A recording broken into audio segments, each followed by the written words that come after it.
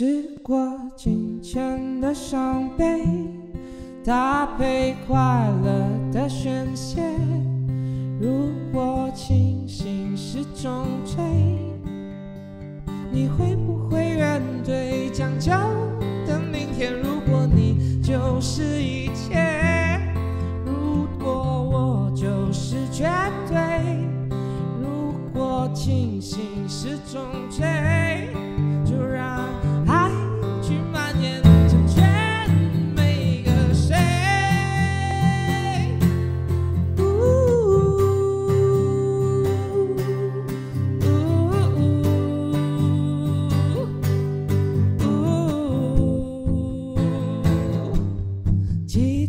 激情的滋味，记住流泪的画面。